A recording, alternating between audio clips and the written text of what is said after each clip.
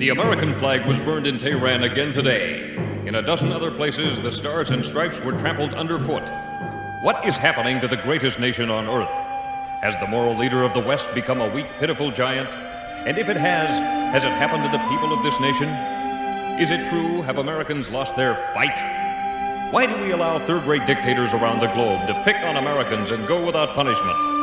And why, after Americans have stood up to support so many others in distress, does it seem that no one wants to stand up for America? The men and women who served in the wars today can't even afford to live decently in retirement. It was American Marshall Plan know-how that saved Western Europe from communist domination. It is in these countries today that American servicemen can barely make ends meet because their dollars are worth so little. America has never turned away refugees seeking freedom and security. Yet, when America looks around for help, Grinning oil sheiks say only pay more.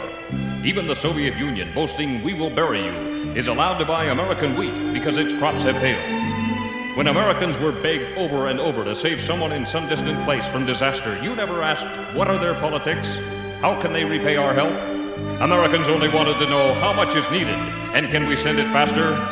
We see Americans pleading with Cambodians to allow us to save their own people. The Reds worry about political implications. Americans worry about dying children. The boat people, the Vietnam War orphans, Cubans fleeing Castro's dictatorship, Hungarians escaping Soviet tanks, the millions uprooted by the Holocaust. These and countless others have always found a safe haven in the U.S. of A. America has drawn its strength from the influx of new blood, but there is growing evidence that this strength is dwindling.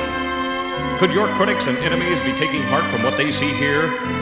What do petroleum potentates think when they see Americans drawing guns on each other to be first in line for gasoline? What do the Kremlin leaders think when they see American judges allowing pornographers to flourish while telling school children they can't say a silent prayer before class? What do even your friends think when they see Americans waving communist banners and donning armbands to march in the uniform of this nation's enemies? If some radicals think they can burn your flag and kill your diplomats and get away with it, maybe part of the reason is what they believe you have shown them. They are wrong. The penny ante-Hitler impersonators, the arrogant petrodollar potentates, the tyrannical ayatollahs don't believe that you can stand up, America. They don't think Americans have the fortitude to tell them, keep your lies, stop your ultimatums, and to hell with your oil. They don't believe the spoiled, luxury-loving Americans can endure the hardship they threaten. They figure America has exchanged its principles for their petroleum. They see American compassion as weakness and American restraint as fear. Are they right, or are you willing to stand up, America? Are you willing to stand up and say, we've had it with those who accept our food, our technical help, our money, and then repay kindness with insult, injury, and intimidation? Are you ready to let them know enough is enough? We are fed up? Then stand proud and say, now we are determined. Now we are united. We are Americans.